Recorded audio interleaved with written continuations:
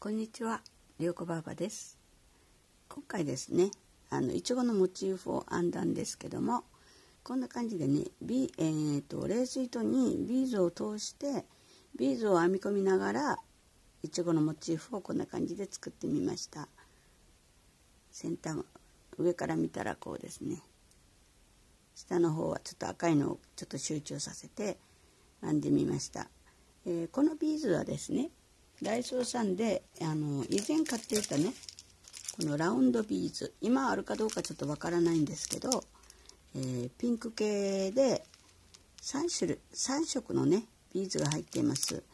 一つはクリアかな？クリアと、えーピンクの薄いのとピンクの濃い赤に近いピンクですね。この3色が入ってるのでこの3色をねえっ、とこ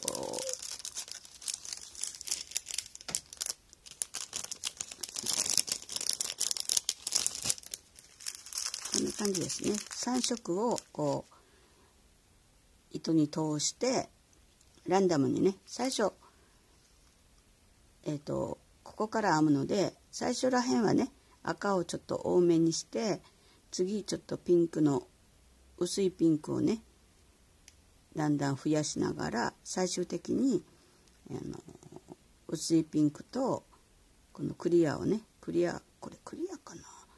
この白っぽいビーズをねこう入れながらこんな感じで色のね変化を楽しみながら今回ね編みましたそれでえっとビーズの数なんですけどもこれ以前いちごのモチーフをね編んだ時の編み図と一緒なんですよね。えー、と編み方はね11段まで編むんですけどもこの目数1段目2段目3段目から最後の11段までの目数を合計した目数が えーとビーズが174個。174目ありますので174個ビーズを通しました。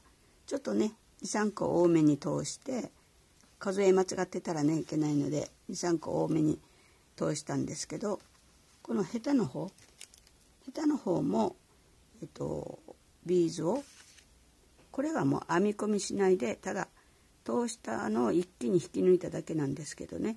この5個のヘタの数は11個1個が11個あります。だから、えっと5枚、えっとヘタが5枚あるので55個。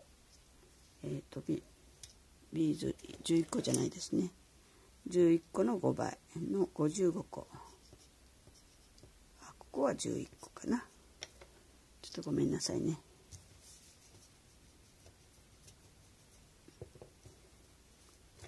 ここの目数がビーズ11個。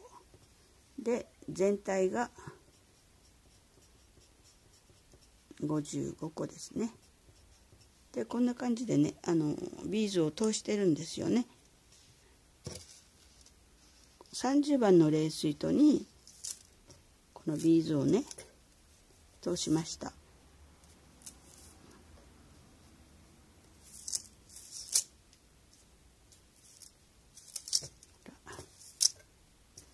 きれいにしとけばよかった。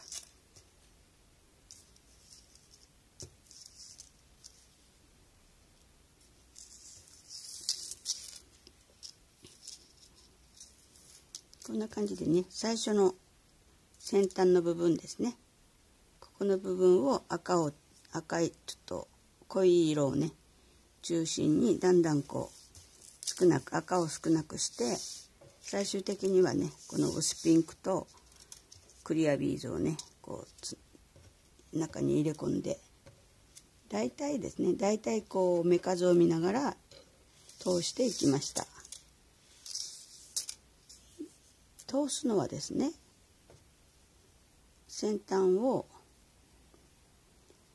もう先端をボンドでこう3センチくらいボンドでこう塗ってこうよりをかけて何分かしたらもう固まるのでもうカチッと固まってるのでねこう通しやすいですよね。このクリアビーズはえっ、とラウンドビーズは500個入ってるんですよね。500個入ってるので、えーと、十分ね2個は作れるんですよね。そうした残りが1個これ編んで編んで今から2個目を編むのでこれだけ残っています。今からね編もうかなと思うんですけどえっ、ー、と編み方は普通のねいちごモチーフ編むのと一緒一緒なんですけどもビーズを寄せながらもう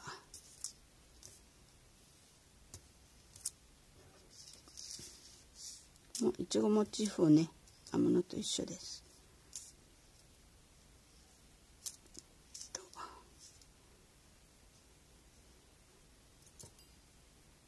えー、レース糸なんですけどもちょっとねあのビーズを通してるので緩めにね編みたいのでかぎ針の2号で編んでいます。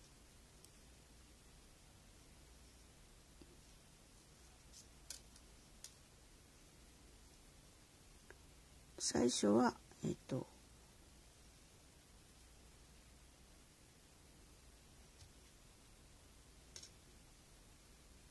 立ち上がってビーズが6個ですね。だいたいこう段ごとにビーズをね寄せときます。246個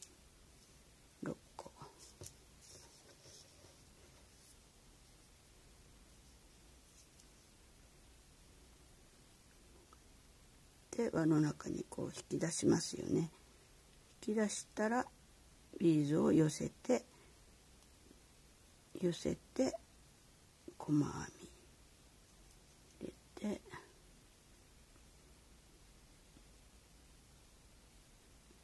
寄せて細編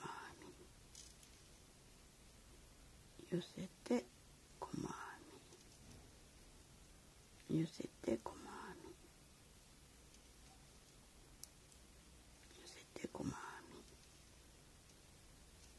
みでこれでビーズがね6個編み込みながら入りました。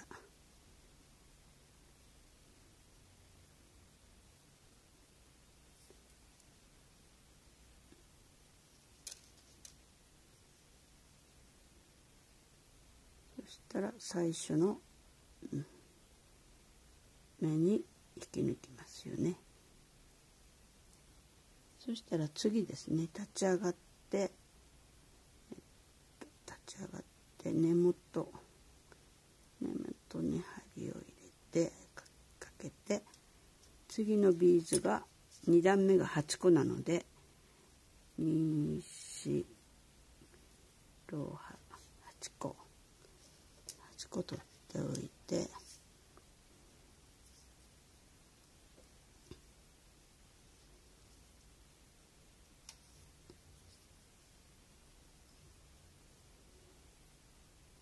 寄せて一回次の目にも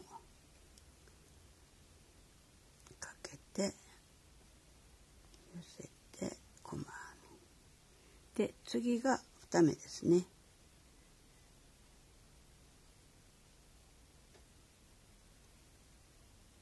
次の目に針を入れて寄せて1回もう1回で細編みでその時に今えっと4個1234個入れましたよね。編み始めがねどこかわからなくなるんですよね。だから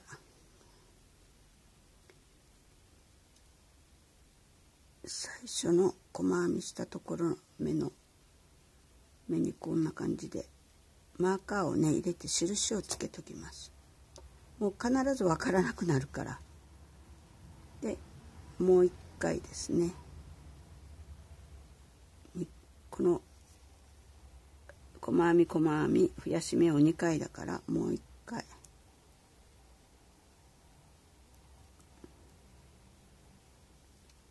最初ら辺がねちょっとしづらいんですけどね。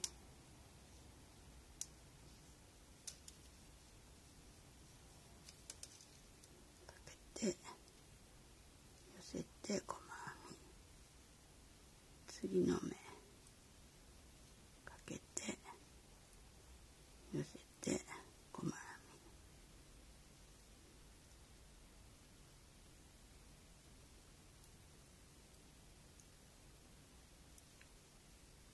み次の目に寄せて細編みでまた同じところに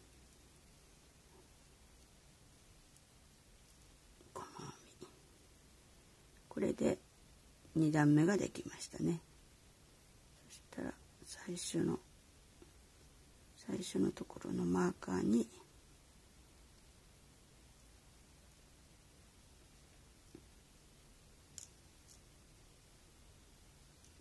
引き抜きますね。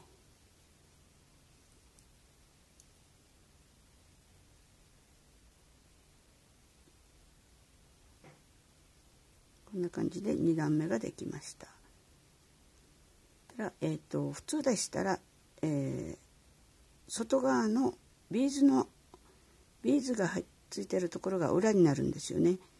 で内側が表なんですよね。だからこうちょっと編みにくいんですけど、まあ、しょうがないですよね。立ち上がって最初の目ですね。次、えー、3段目ですね。細編み細編み増やし目増やし目を2回。その時に今度は12目なので12個。2 4 6 8 12個。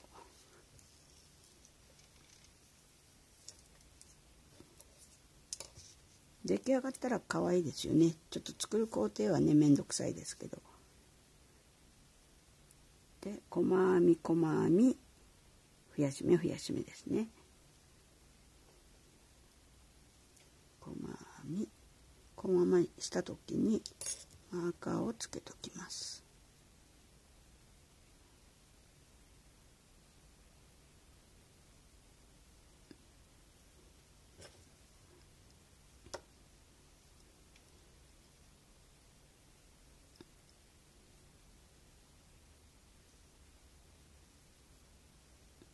細編み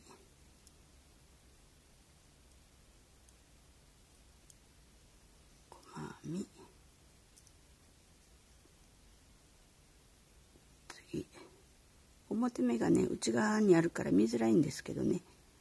慌てないでしましょうね。細編み細編み増やし目。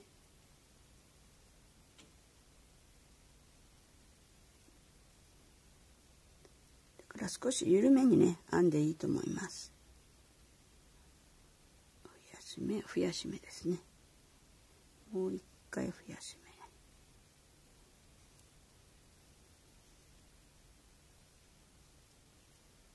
増やし目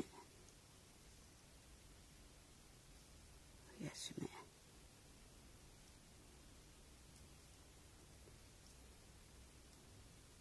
隣の目に。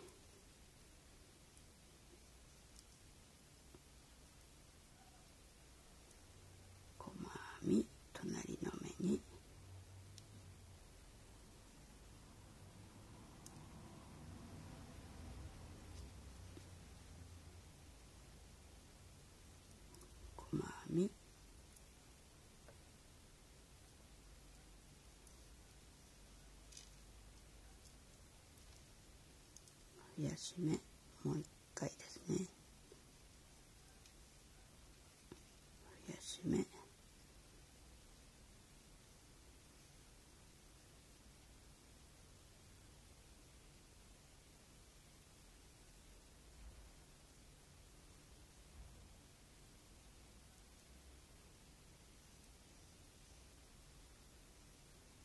やし目増やし目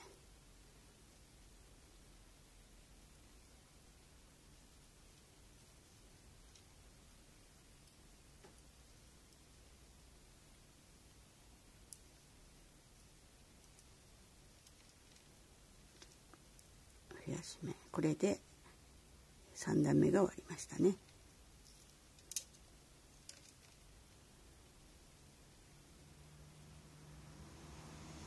でマーカーのところに引き抜きますね。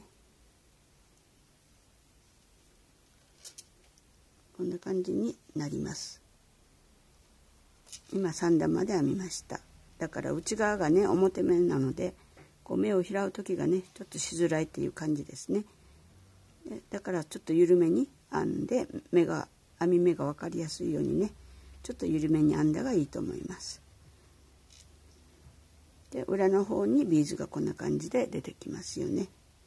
で今3段まで編んだのでもうねあとはいちごのモチーフを編むのと一緒なので最後まで編んでこようかなと思います。それで必ずね編み始めにこのマーカーをねつけといてください。えっ、ー、といちごの実を11段編んできましたね。ビーズの方が裏になります。でこの紐はですね裏の編み出し編み始めの糸ですので綿をね詰めた後に中の方に糸を入れて糸処理をしますのでまだこの状態ではねかあの糸処理はしません。今から綿をね詰めていきます。ある程度詰めてからこうねいちごのこう触ってあんまりね柔らかいといけないのである程度のところまで綿を詰めますね。ピンセットでするからねしやすいですね。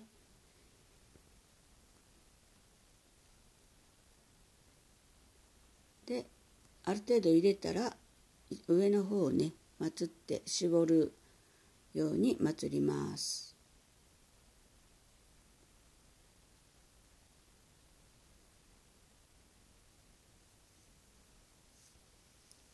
絞った後にね足らない時はまた入れ込みます。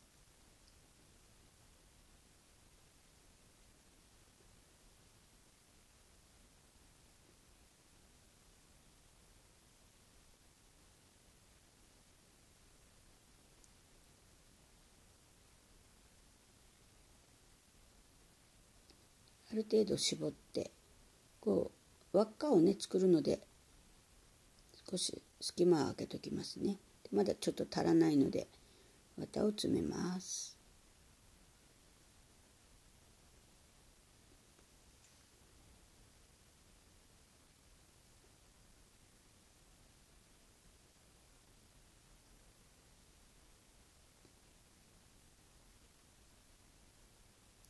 ぎゅっと絞ってしまわないでね。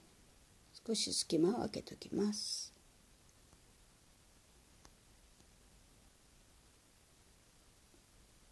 で今からねヘタの方を作りたいと思います。ヘタはね5枚なので、えー、ビーズをね11個のビーズを1つの花、えー、ヘタの1つに11個ビーズを使います。輪の中に細編みを入れていくんですけど細編みする時にビーズも一緒に11個のビーズを一緒に編み込みます。手前に寄せて輪の中に針を入れて引き抜く時に手前に寄せたビーズをビーズをね手前に寄せてここで細編みを一回します。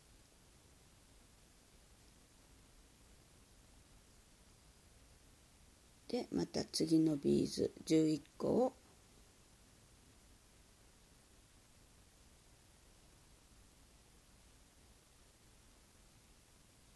11個をまた細編み編む時に一緒にね編み込みます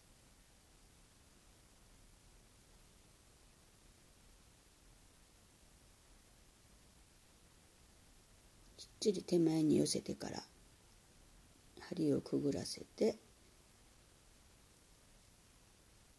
手前に寄せてで糸に針をかけて引き抜いて細編みをします。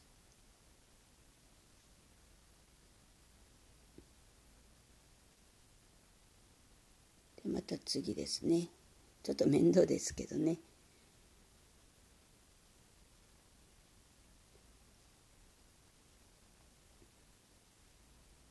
た11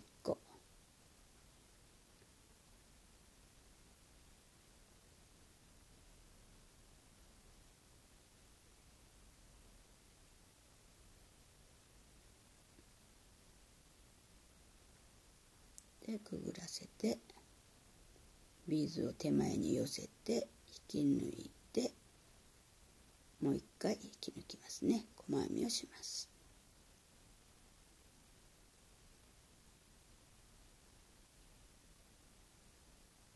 なかなか面倒くさい作業なんですけどね。ヘタは編もうかなと思ったんですけどあの実の方がねビーズだからやっぱりヘタもビーズにしようかなと思ってねどんな感じにしようかなと思って結局11個のビーズをまとめて編み込むようにしました。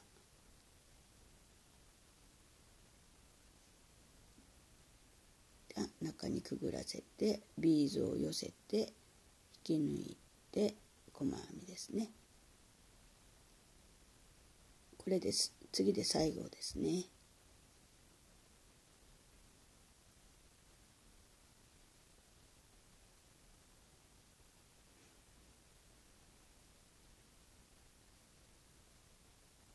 で最後ですね。くぐらせてビーズを寄せて引き抜いて細編みをします。これで5つのヘタのねビーズのヘタができました。で絞って。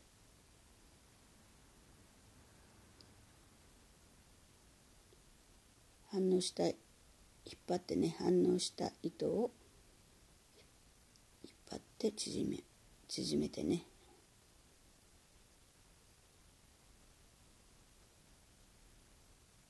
ここでもねあまりこう引っ張りすぎて隙間がなくなるとあの輪っかをね通すのでちょっと今回引っ張りすぎましたね。もう目がちょっとわからどこの目に差し込んだらいいかわからなかったのでもう適当にしています。この辺は。引き抜いてヘタは終わりですね。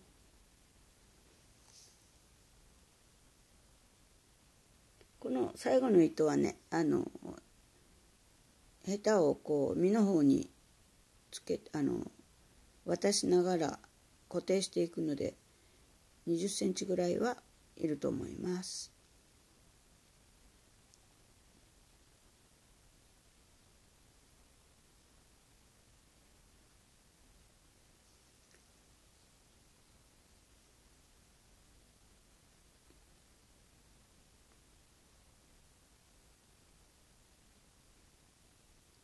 今度は次はあのあれですね。中の輪っかを作るのでまあ12目編んできました。これをあのいちごの一番上のとこから差し込んで固定します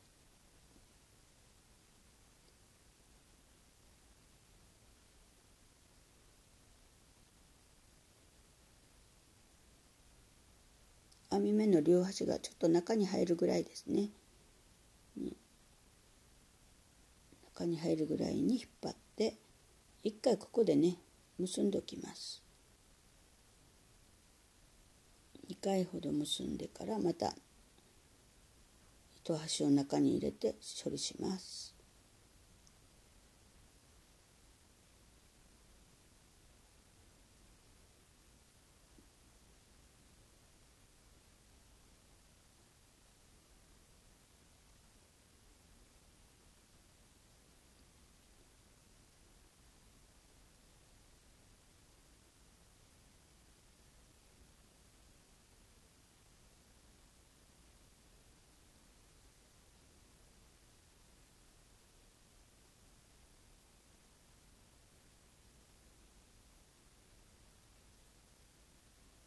この状態でヘタをつけますね。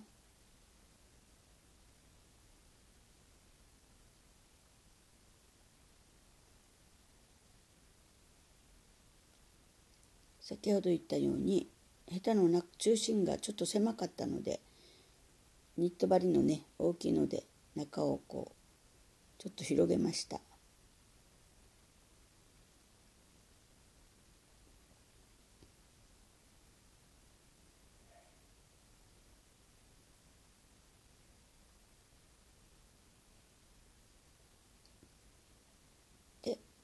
上から上から針を入れて差し込んで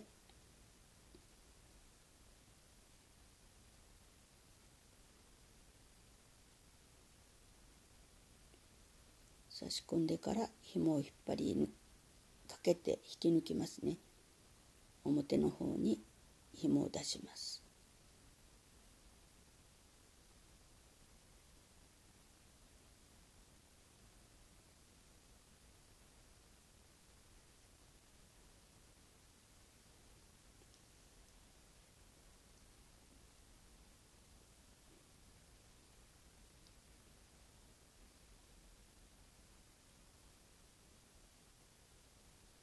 をきれいに広げてね今から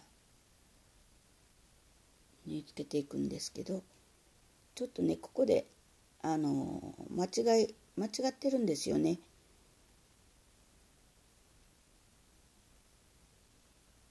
下手のえっ、ー、と下手の編み始めの糸で処理してるんですけど下手の編み始めの糸はもう別にあの糸処理中の方にいちごの中の方にねもう入れ込んで糸処理最初からしとってよかったんですけど何を間違ったかあのこの短いね編み始めの糸でちょっと固定してしまっえっ、ー、と輪っかといちごを固定してしまったんですよね。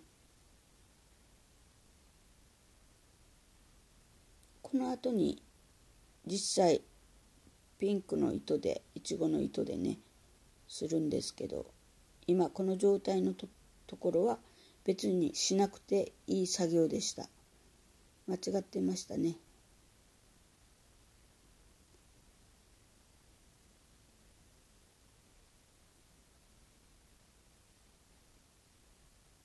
ここはピンクの糸でギュッと絞ってからねピンクの糸の糸をギュッと引っ張って絞ってからピンクの糸でこの状態のようにこの作業のようにするはずだったんですけど何を思ったか間違ってますね。この糸はもうただ糸処理するだけでよかったんですけど。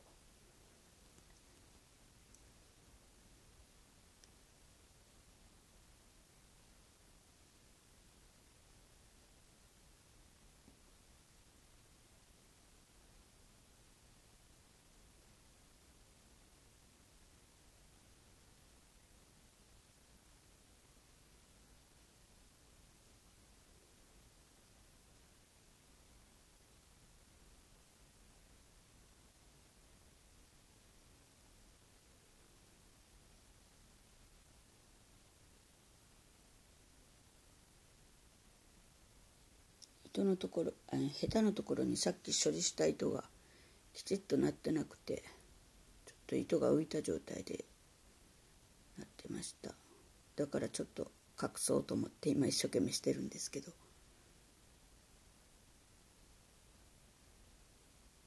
ちょっと糸が浮いたような感じでね緑の中に入れ込みました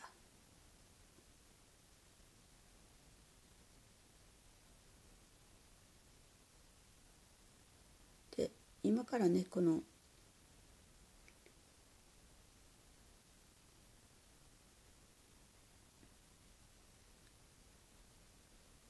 このピンクの糸をねギュッと引っ張っていちごの上の方を絞ってからこの糸で今みたいにね。このヘタがヘタじゃない真ん中の輪っかがね。抜けないようにこのピンクの糸でね処理するべきだったんですけど何を思ったか間違ってましたけど今こんな感じでねピンクの糸で本当はした方がいいんですよね。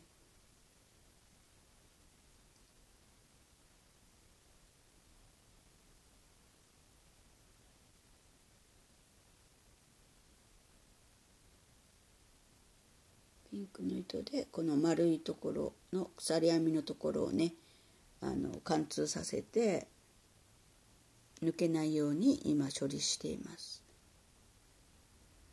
だから2度手間ですけどね今の状態では。まあ頑丈にはなってるなってるには間違いないですね。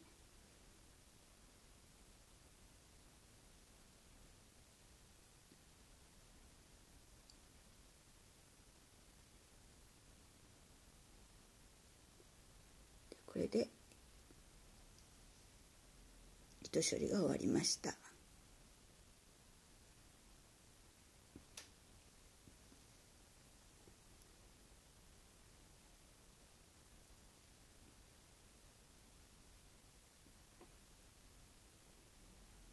編み始めの糸もねも綿が詰まってるから糸処理中の方にね入れ込んで糸処理します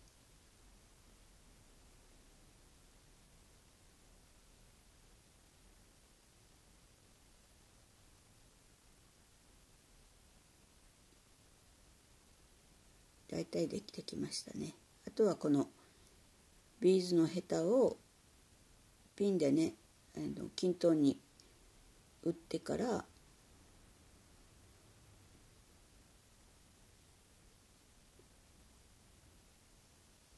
均等に打ってからあの固定しますね。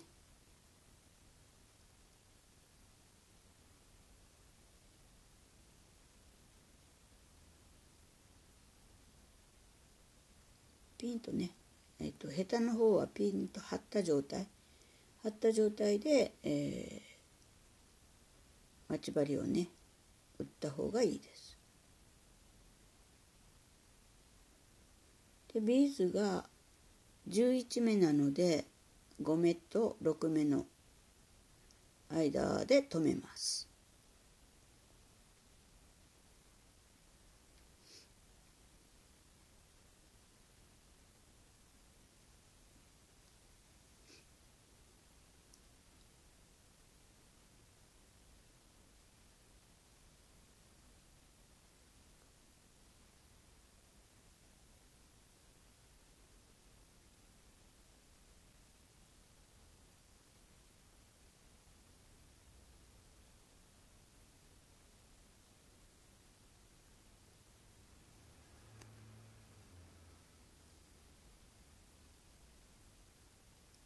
最初ピン打ってる外側ヘタの外側に針を出してから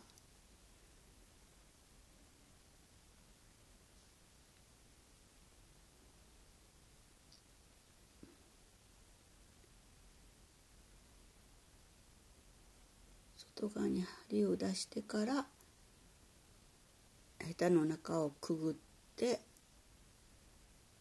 待ち針をねもう抜きますね。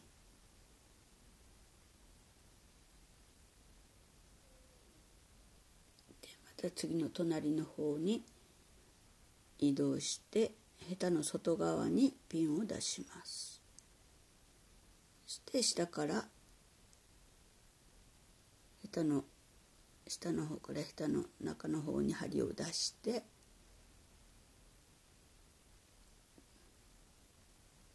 ピンを抜いてちょっと引っ張り気味で隣の方に根元にね針を差し込んで隣の方に移動します。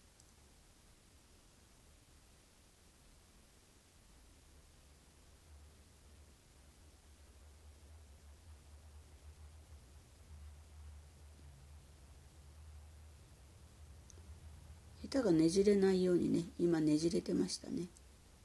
ねじれないように針を中に入れてくださいね。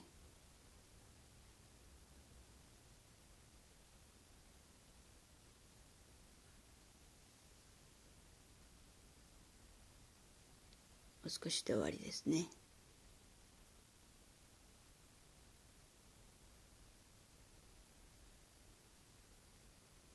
で引っ張って隣に根元針を入れて隣に移動します。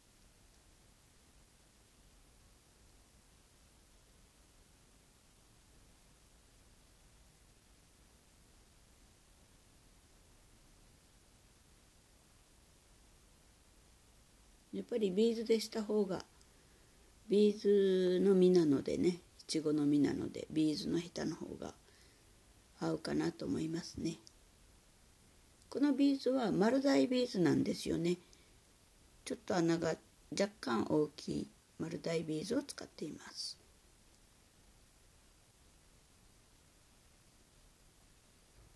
ダイソーさんのビーズよりも実の方のビーズよりもだいぶちっちゃいビーズですけどね。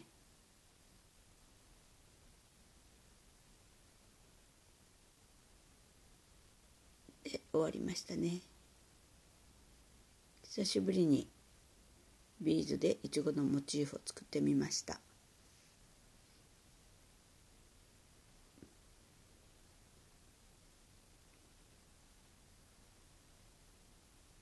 できました。やっぱり輪っかにした方が、えー、丸カンとかね通すのに便利ですよね。ビーズが出っ張ったりしてるとこ気になる方はねあの、また普通の糸でいいですからビーズの中に糸通していちごの実の中にねギュッと入れ込んで修正されるといいと思います。こんな感じでできました。可愛いですよね。ではね今日はこの辺で終わりたいと思います。